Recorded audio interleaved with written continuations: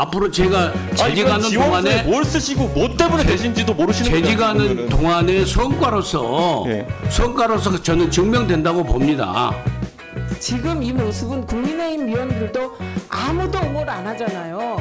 얼마나 저 행동이 잘못된 겁니까 지금? 제가 생각할 때는 국민들이 보고 계신다고 봅니다. 지금 저 태도를 옹호할 수 있는 국민의힘 위원들 아무도 안 계세요. 저런 분은 처음이잖아요 지금. 왜 왜 저 하기 전에 자꾸 싸우셔가지고 믿음을 깨십니까 이렇게? 아니 지금 이준석 위원님 발언 시간 드렸는데 그러면 두 사람을 지금 동시에 일타 쌍피로. 네. 지금 저희가 한 대씩 맞은 겁니다.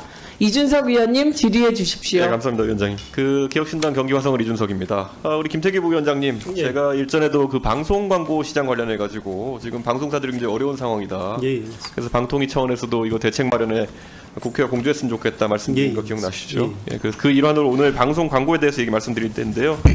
어, 부위원장님한테는 이따 오후에 질의 드리도록 하고요. 우선 그 민영삼 사장님께 질의 좀 드리겠습니다. 예, 우선 코바코 사장 임명되신 거 뒤늦게 축하드립니다. 예.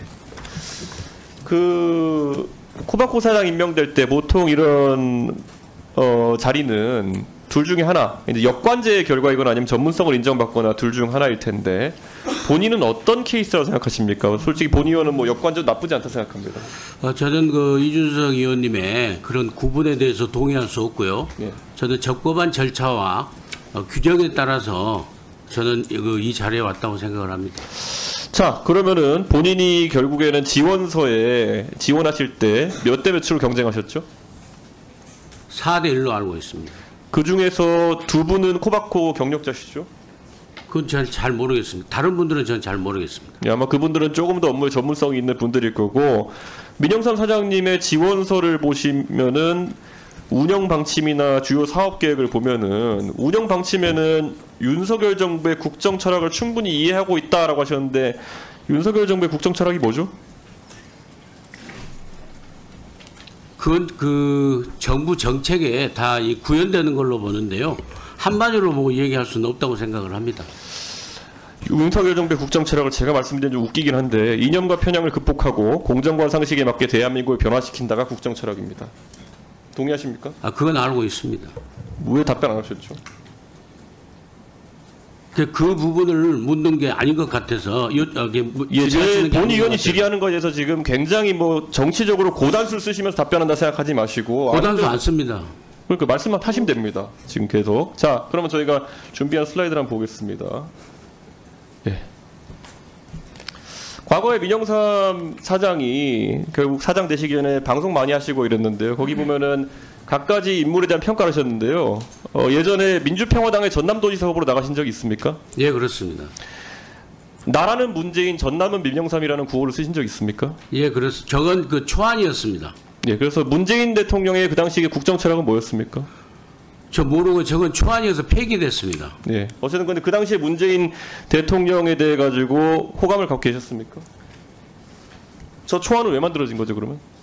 초안에 검토하는 과정에서 과- 광고 기획사에서 만들어서 왔길래 나는 이게 아니다. 나는 그때 그 문재인 전 대통령이 소속해 있는 민주당이 아니라 22년간 활동했던 민주당을 떠나서 민주평화당, 민주평화당의 그 저기는 그 자, 적을 두고 그러면 저 있었어요. 슬라이드에 보면요. 노무현 대통령과 문재인 대통령에 대해 가지고 굉장히 부정적인 평가를 하시군요. 15년 전 노무현과 문재인이 대한민국을 얼마나 망쳐놓고 거덜냈는지 알려주시길 간곡히 호소- 호소한다 이런 말씀하신 적 있습니까? 저는 기본적으로 노무현 정부에 있어서 공과가 있다고 생각을 해요. 저는 그래서 이번에 공은요. 예 알겠습니다. 예, 공- 사장으로 하실 때 사장으로 지원하실 때 결국 뭐 아까 역관제 역- 그 영역인지 전문성인지 모른다 하셨는데 제가 봤을 땐 전문성은 없으시거든요. 그래서 역관제 영역이라 생각하는데 이 부분에서 강조하신 것을 보면은 사실 정무적 역할을 강조하셨어요. 주요 사업 계획에 보면요. 구체적으로 뭐 하겠다보다 국회와 관련 부처를 설득하여 디지털 시대의 코바코의 위상을 확립하겠다고 하셨는데 노무현도 문재인도 부정하고 그리고 과거에 방송하신 거 보면 조국도 안 좋아하시는 것 같고 혹시 진보당 좋아하십니까? 누구요? 진보당은 좋아하십니까? 좋아하고 안 하고 제가 답변할 사항은 아닌 것 같습니다. 그럼 과거에 보면은 윤석열 캠프에서 활동하신 이력이 있다는 것이 이번에도 보도됐는데 어, 윤석열 후보 캠프에서 어떤 역할을 하셨죠? 윤석열 대통령 후보 네. 캠프에서는 그 국민통합특보라는 직함을 가지고 어, 잠깐 활동을 했었습니다. 며칠 만에 사퇴하셨죠? 네? 며칠 만에 사퇴하셨죠? 그 확실히 기억이 안 납니다. 나흘 만에 사퇴하셨습니다. 그때 어떤 발언 때문에 사퇴하셨죠? 그때 그냥 자진 사퇴를 했습니다. 어떤 발언 때문이 아니라 이따가 나중에 다 띄워드릴 수 있습니다. 이준석 네. 사퇴해라, 이준석 무건 수행해라 이런 말들 계속 올렸다가 윤석열 캠프에서 해촉되셨죠? 아 그건 그 그게 사퇴하고 연관이 되어 있는지도 모르겠으나 저는 그 제 개인 페이스북에 그 답변을 올렸던 건 사실입니다. 본인이 사퇴했는데 어떤 이유로 사퇴했는지 모른다고 말씀하시는 게 말이 됩니까? 그때 당시에 제가 사퇴한 이유는요.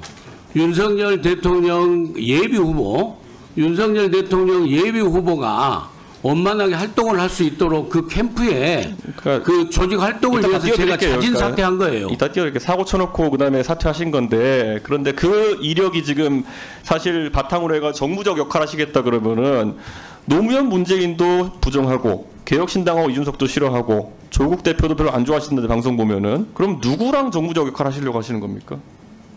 최근에 그럼 한동훈 당 대표에 얘기한 거 보면은 당 대표 하려고 알랑방귀 끼고 거짓말한다 위선자 이렇게 말씀하셨는데 누구를 설득해가 정무적 역할 하시겠습니까? 무슨 말씀하는지 저는 이해를 할 수가 없습니다. 다 띄워드릴까요? 이해를 할 수가 없습니다. 저는. 뭐 답변 못 하시겠죠. 정부적 역할 하시겠다 그랬는데 모든 정치 지도자를 비난했으니까 지금 뭐 역할 할 수 있는 게 아니, 없잖아요. 그거하고 코바코 업무하고 무슨 상관이 있습니까? 업무에다가 정무적 역할 하신다고 아니, 쓰신 거잖아요. 전문성 그럼 따져볼까요? 코바코는요. 방송 관련해서 방송 광고 관련해서 어떤 전문성 있으십니까? 코바코는요 기본적으로 어떤 회사냐면은요 KBS하고 MBC를 비롯한 방송 광고 판매 회사예요. 기본적으로 광고 회사도 아니고 광고 기획사도 아니고 그러니까 무슨 전문성이 언론사도. 아니고 그러니까 방송 관계를 방송 광고를 판매하는 아, 그러니까 그게 이런 영업 활동을 하는. 그 조직체를 잘 관리하는 게 가장 중요한 자, 전문성이에요. 기업을 경영하시고 관리하시는 걸 또 그럼 잘한다고 주장하시는 건가요? 그건요 하루아침에 증명될 수 없잖아요. 앞으로 제가 재직하는 동안에 뭘 쓰시고 뭐 때문에 되신지도 모르시는 거잖아요. 재직하는. 동안의 성과로서 예. 성과로서 저는 증명된다고 봅니다. 코바코가 지금 뭐 이번에 자료 갖고 오신 거 보면은 당기 순이익이 163억 적자인데 사실 그러면 여기 대해서 경영 전문가시면 한번 말씀해 보세요. 어떤 걸 해야 됩니까? 그, 그 장기적인 계획과 단기적인 계획이 있는데요. 예. 그 적자라는 것은 그 일반 기업처럼 사기업이면은 무조건 흑자를 내야 되겠죠. 최대한 흑자를 내야 이렇게 되겠죠. 그렇지만은 예전에 우리 공기업은 공기업은 공기업으로서의 꼭 흑자만이 절대 가치가 아니에요. 지고지선의 가치가 아닙니다. 하시는 게 아니에요 지금 왜 답을 제대로 안 하십니까? 무슨 전문성이냐? 아니 무슨 답을 안 계세요. 아, 합니까? 계세요. 무슨 답을 안 합니까 제가? 답변 드리고 있지 않습니까?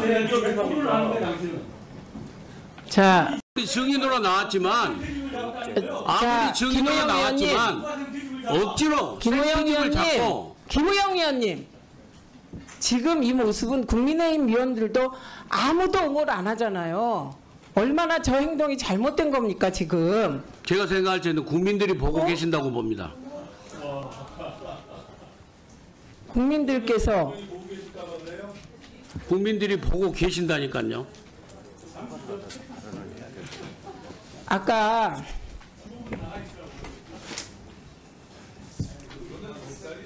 아니 근데 박충건 의원님 옹호해 보세요 저 태도.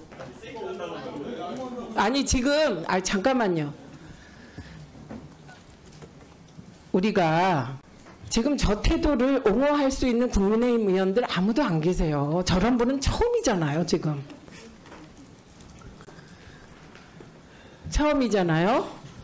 그리고 이준석 위원님이 굉장히 잘 참으셨습니다. 예, 그리고 지금 김우영 위원님이 그걸 문제 제기하는데 거기에 대해서 김우영 위원님에 대해서 문제 제기를 하면 그건 증인을 옹호하는 것이죠. 그래서 지금은 그런 상황이 아닙니다.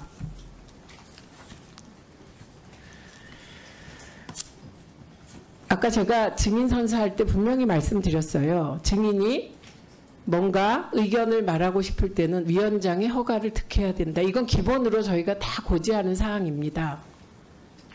그런데 제가 지금 이준석 위원과 민영삼 증인의 질의응답 과정에서 저로서는 이준석 위원께서 어떻게 저렇게 참으시지? 할 만큼 인내심 있게 잘 참으셔서 제가 중간에 제지하지 않고 그 답변 태도나 위원이 질의하는데 끼어들고 어, 위원님보다 증인이 더 강압적인 태도를 지적하려고 하는데 그 지적의 과정에서 또 저한테 끼어들고 덤비시고 그, 와- 그 과정에서 쌩깐다는 표현까지 동원하시고 이건 대단히 잘못된 태도입니다.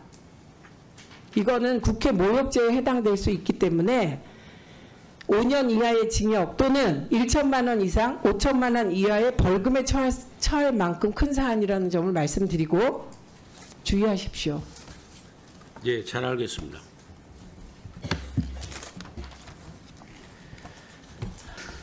우리 민영삼 사장님, 네. 네. 아까 뭐 일부 유튜브에서 발언한 내용에 대해서 사과 적절히 잘 하신 것 같습니다. 네. 예. 근데 이 업무와 연관해서 그 본인이 함께 출연한 유튜브에 어, 배모 변호사께서 한동훈 어, 법무부 장관 시절에 종편 또 각종 유튜버에 어, 자기를 잘 좀 인용 보도해 달라라는 요지에 부탁을 많이 했었다. 그런 얘기를 같이 출연한 변호사가 얘기를 했었는데 기억나십니까? 저뭐 답변할 생각, 아니 답변할 성질의 것이 아니라고 봅니다. 네. 음, 그러면 지금 그 우리 민영삼 증인은 이진숙 사장이 아 이진숙 위원장이 사장으로 임명을 했죠. 그렇습니다. 네. 그러니까 뭐 아까 판매 하신다고 방송 광고를 기획하거나 하는 것이 아니라 판매하는 것이기 때문에 그러니까 평상시에 뭐 어떤 장사를 하시거나 하는 걸 소질이 좀 우수하신 면이 있었나, 있었나 보죠? 그러니까 방송 광고 예. 판매 대행업을 주로 하고 있어요. 우리 코바코는 이게 대행 업무입니다. 그럼 그 이준숙 위원장님, 그 민영삼 사장이 평상시에 무슨 그런 광고 판매 대행과 관련된 전문성 그런 게 있어서 임명을 하신 겁니까? 도대체 어떻게 임명을 하신 겁니까? 임명한 것은 이미 언론에 보도됐기 때문에 제가 답변을 드렸고요. 어떻게 해서 임명했느냐 하는 것은 제 직무와 관련되는 것이기 때문에 답변하기 어렵습니다. 그러니까 뭐 말씀하기가 좀 곤란한가 보죠. 그 민영삼 사장은 김건희 여사하고 마- 많이 가깝다 뭐 그런 얘기가 있는데 사실입니까? 전혀 가짜 뉴스입니다. 그럼 김건희 여사 편에서 어떤 정치적 발언을 많이 하신 바는 있는데 그건 틀린 얘기입니까? 제가 그런 적은 없고요. 정치 평론가로서 활동을 할 적에 객관적인 그 제 판단을 제가 얘기한 걸로 저는 그렇게 그 말씀드리고 싶습니다. 그 7월 달에 올 7월 달이죠. 그때 국민의힘 전당대 때 한동훈 당시 후보를 맹렬하게 비난을 한 바 있습니다. 뭐 배운 망덕하다, 영혼이 없다, 거짓말을 많이, 많이 한다, 뭐 잔대가리를 많이 굴린다 등등등.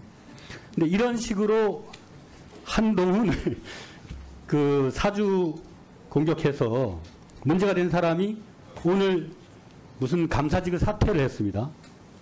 김대남 전 행정관. 네? 그분은 그런 본인의 발언에 대해서 어, 엄청난 파문을 일으킨 것에 도덕적 책임을 지고 사퇴를 했어요. 그러니까 도대체 방송 광고 판매하고 어떤 연관성이 있으며 음? 도대체 무슨 경영 능력을 검증받은 거가 있습니까? 어디에 와- 방송에 나와서 그러셨죠? 인사를 할 때 전문성, 도덕성, 직무 능력 이 세 가지 중에 코바코하고 연관된 게 뭐 있습니까?